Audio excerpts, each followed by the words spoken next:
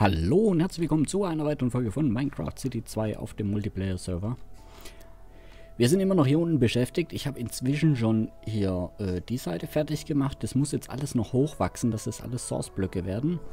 Die Pisten sind verbaut und hier auf der rechten Seite habe ich schon ein bisschen mehr gemacht. Außerdem gibt es hier unten eben die Redstone-Verkabelung. Darf ich jetzt erstmal nicht aktivieren. So, und dann sind wir schon hier oben. Und da wird es folgendermaßen sein. Wir können hier gerade mal... Das Wasser machen wir mal weg.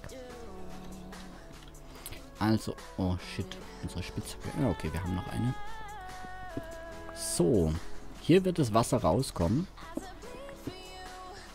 Wie ihr seht, es wird dahinter geschwemmt. So, warte mal. Ich dachte, da wäre ein falscher Block. Also das wird dahinter geschwemmt, dann wird es hier vorgeschwemmt und dann wird es hier vorgeschwemmt und landet dann hier unten. Idealerweise hier in einem Hopper. Den müssen wir jetzt aber erstmal noch craften. Dazu brauchen wir Eisen. Ähm, ich hatte eigentlich gedacht, ich mache das hier in... Wo ist ein Eisen hin? Ich mache das hier in Kisten rein. Habe ich eigentlich gedacht. Aber meine Idee ist jetzt, wir könnten das wahrscheinlich sogar viel weiter treiben, die ganze Geschichte. Wir könnten das wahrscheinlich so weit machen, dass das in den Ofen kommt. Es kommt in den Ofen und vom Ofen direkt wieder in ähm, die Kiste. Dann hätte man nämlich den Seetang auch schon fertig gebraten. Das wäre ideal. Aber ich weiß nicht, äh, wie ich das am besten anstelle. Deshalb machen wir das mal so. Ähm, den machen wir mal da oben rein und dann braten wir die ganze Geschichte und ich guck mal, ob der Ofen das einfach so weitergibt oder nicht. Dim, dim, dim, der gibt es weiter in die Kiste. Hammergeil. Okay. So, dann funktioniert das schon mal. Jetzt müssen wir natürlich den Ofen auch noch befüllen. Ähm, Jetzt muss man natürlich gucken, wie das Ganze vonstatten geht.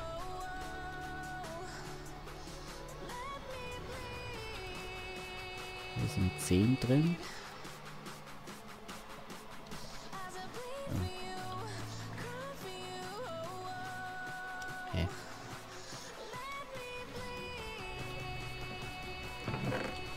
Also es funktioniert zumindest schon mal. So weit komme ich nehme alles raus.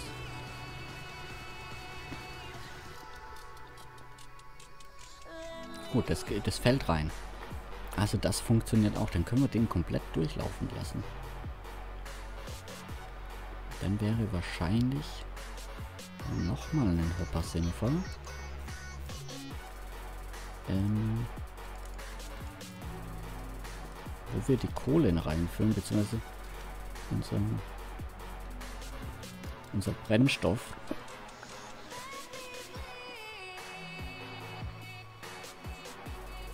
So, aber das, das hier ist schon mal sehr nice. Ähm, ich muss jetzt nur gucken, dass ich das hier oben reingebaut kriege.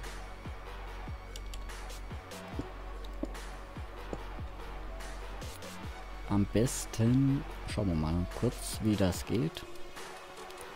Äh, so, jetzt brauchen wir noch ein bisschen, bisschen Holz brauchen wir noch, damit wir noch ein paar Drohnen machen können. Äh, bam, bam, bam. So, Truhen brauchen wir sowieso. Also davon kann man nie genug haben. Und dann gucken wir mal, wie wir das hier jetzt anordnen. Der bringt es wirklich... Okay, da ist kein Brennstoff mehr. Eben, das ist, das ist unser Problem. Äh, könnte man das wieder? Man könnte das auch... Warte mal. Warte mal, ich habe noch eine andere Idee. Man könnte das, glaube ich, wenn es funktioniert, richtig automatisieren. Mhm.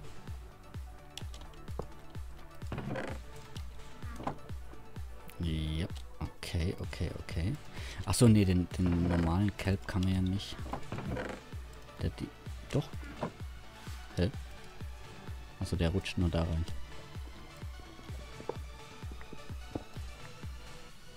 Okay, nee, aber das ist ja. Das ist ja schon. Oh gut, kein Platz mehr. Ist ja schon mehr, wie wir eigentlich erhofft hatten. Dann können wir hier mal ein bisschen noch den Ausbau vorantreiben. So, wir brauchen hier unten zwei Kisten, die unseren fertigen Seetang auffangen. Das passiert immer wieder, dass der die Kisten auseinandersetzt. Ich möchte aber eine Doppelkiste haben. So. Und zwar machen wir das doppelt. Hä? Hallo, warum kann ich denn da nicht rüberspringen? So.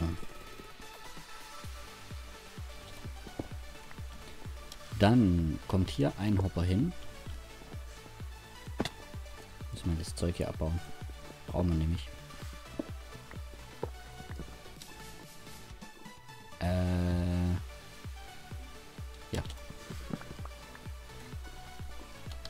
So.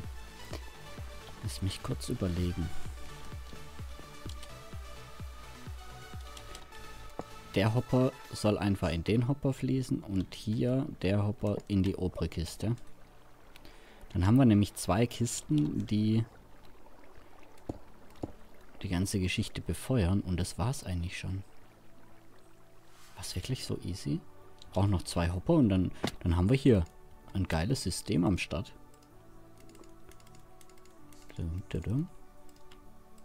Und das, das äh, wird Hammer. Also, dass man das automatisch schon brennen lassen können. So. Gut.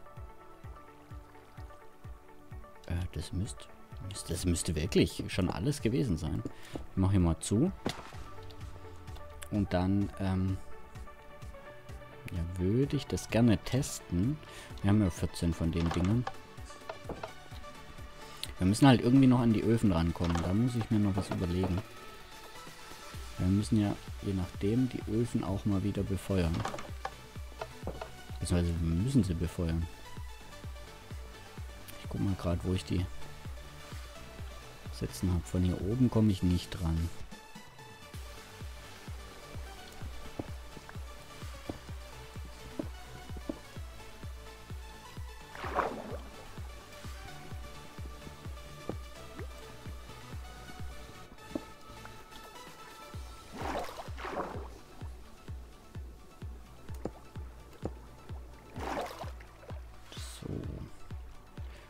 Mal, mal gucken. Okay.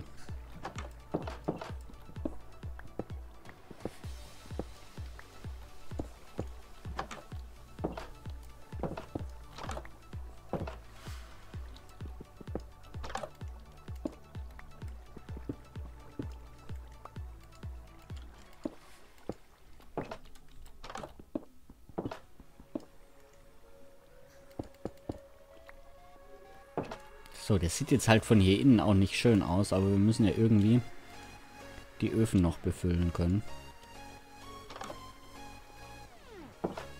Oder wir kriegen es... Doch, wir kriegen es noch schöner hin. Lass mich mal kurz machen. Ähm, wir brauchen noch mal zwei... Zwei, zwei, äh... Brauchen noch eine Kiste. Nehmen wir eine Doppelchest. Und dann brauchen wir nochmal zwei Hopper. Und dann ist es das Ultimative, die ultimative ähm, Farm. Das glaubt ihr aber. Wenn wir dann noch automatisieren, dass... Ähm, warte, ich muss mal hier gerade den Eingang suchen.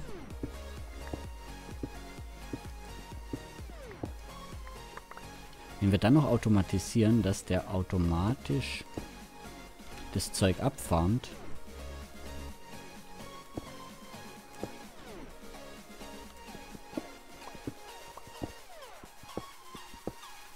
So, warte.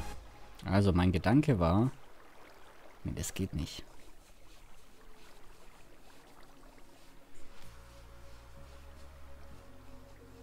Müsste man noch eins höher gehen.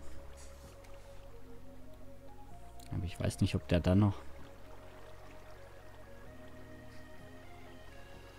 Ob der dann noch richtig funktioniert. Weißt du, mein Gedanke war hier, jeweils einen Hopper dran zu pflanzen.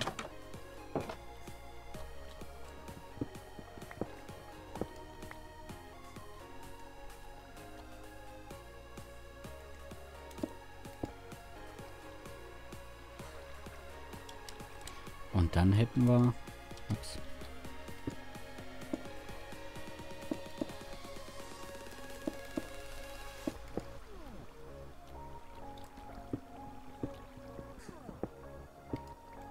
Doch, ich, ich baue es halt so, dass wir von oben dran müssen. Aber es ist halt besser, dass wir da dann einen Speicher an Brennstoff haben. Ups. Ist auf jeden Fall besser. Müssen wir halt hier hoch.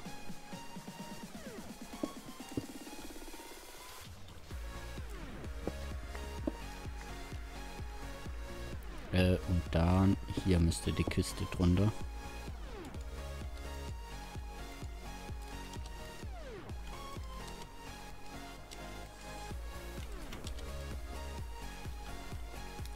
So. Hier jetzt die Kiste hin. Natürlich eine Doppelchest, bitte. Oh, jetzt wieder irgendwas da reingeflutscht.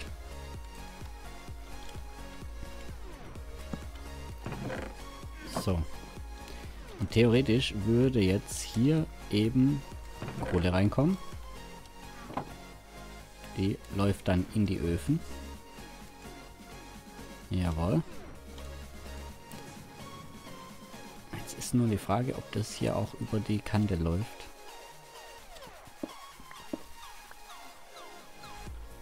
Sollte eigentlich funktionieren. Hoppala hopp. So, also, das Beispiel funktioniert so.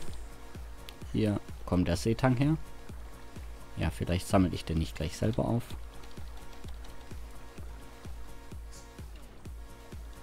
Er läuft hier lang, landet in den Hoppern.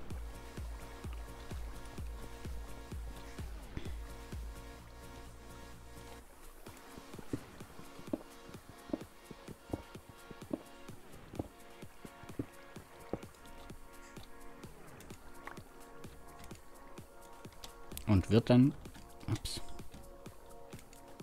gebrannt. Hallo? Wenn er gebrannt ist,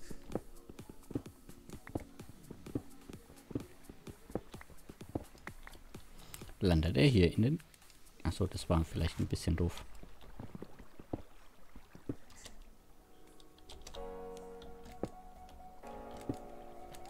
Landet er hier in den Kisten. Da da. Hammer, oder? Ist doch cool. Ich kann das jetzt halt noch nicht testen. Das werden wir in der nächsten Folge nochmal machen. Ähm, weil hier muss auf jeden Fall der Seetang komplett hochwachsen. Außerdem müssen wir ja oben noch die andere Seite wieder äh, bauen. Haben jetzt wieder nur die rechte Seite gebaut. Aber dann kriegen wir hier fertigen Seetang raus. Und den, habt ihr das gesehen? Da kommt noch was an. Und den machen wir dann wieder zu Zetang-Blöcken. Und das wird unser effektivster Brennstoff dann. Also. That's it. Ich bedanke mich bei euch fürs Zuschauen. Wenn es euch gefallen hat, lasst einen Daumen nach oben da, auch wenn es euch weitergeholfen hat. Und wir sehen uns in der nächsten Folge wieder. Bis dahin. Ciao.